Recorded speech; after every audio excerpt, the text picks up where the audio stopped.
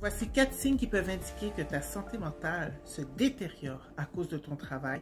Et la quatrième est celle que l'on ignore le plus souvent. Si tu es constamment stressé et que tu ne peux pas trouver de moyens de gérer ce stress, cela peut être un signe que ton travail t'affecte négativement. Si tu as des difficultés à t'endormir, à rester endormi ou si tu te réveilles souvent en pensant à ton travail, cela peut être un signe que ton travail t'affecte négativement. Si tu as des difficultés à te concentrer sur ton travail ou à prendre des importantes décisions, cela peut indiquer que ta santé mentale est en train de se détériorer.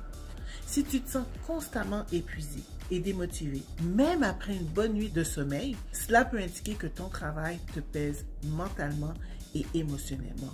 Si tu ressens un ou plusieurs de ces signes, il est important de te trouver des moyens de prendre soin de toi-même. Tu peux soit parler à ton employeur, encore à un professionnel de la santé mentale, ou tout simplement contacter un coach de vie ou de carrière pour t'aider.